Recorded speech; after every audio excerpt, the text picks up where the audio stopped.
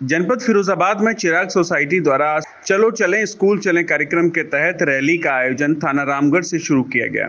इस रैली की शुरुआत फिरोजाबाद बेसिक शिक्षा अधिकारी आशीष पांडे, डीपीओ मिथिलेश कुमार और थाना रामगढ़ के क्राइम इंस्पेक्टर राम प्रवेश द्वारा हरी झंडी दिखाकर किया गया। इस रैली का मुख्य उद्देश्य बच्चों को बाल श्रम से दूर रखना और जन जन के अंदर बच्चों को पढ़ाने के लिए जागरूक करना था। इस रैली में थाना रामगढ़ क्षेत्र के कई स्कूलों के बच्चों ने प्रतिभाग कर लोगों को जागरूक किया। चलो चले। चलो चले। चलो चले। चलो चले। आज चिराग सोसाइटी के द्वारा एक आयोजन किया गया है स्कूल चलो चलें स्कूल चलें रैली का। हमारे साथ इस समय बी एस साहब मौजूद हैं। अ, सर किस तरह की रैली है और क्या उद्देश्य है जनपद फिरोजाबाद में स्कूल चलो अभियान के अंतर्गत आज इस रामगढ़ क्षेत्र में जो है बच्चों के लिए एक रैली निकाली गई। इस रैली के माध्यम से जो हमारा उद्देश्य है कि प्रत्येक बच्चा विद्यालय तक पहुँच सुनिश्चित करे और विद्यालय प्रशासन का भी अच्छा प्रयास रहा है कि वह अपने सभी बच्चों को स्कूल चलो अभियान के रैली में पार्टिसिपेट कराए हैं।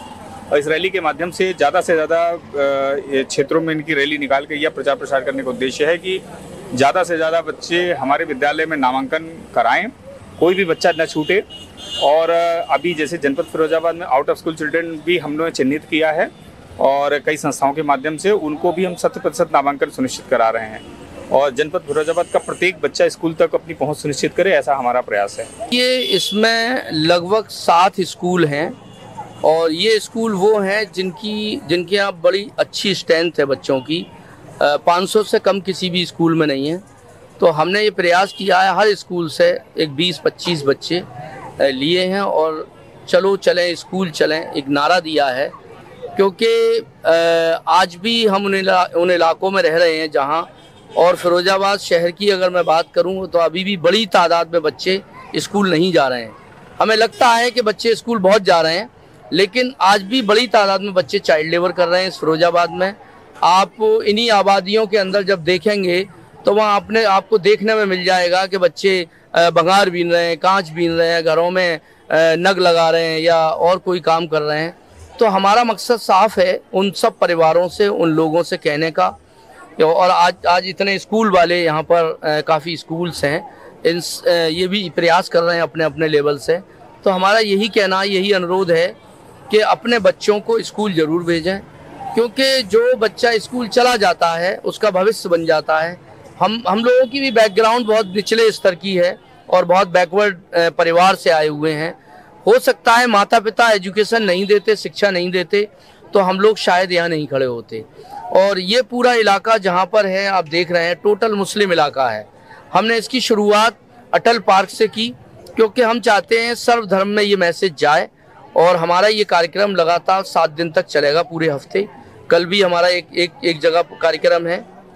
तो अलग अलग आबादियों में हम ये प्रोग्राम चला रहे हैं और यही मैसेज दे रहे हैं कि बच्चे स्कूल जाएँ, चलो चलें, स्कूल चलें।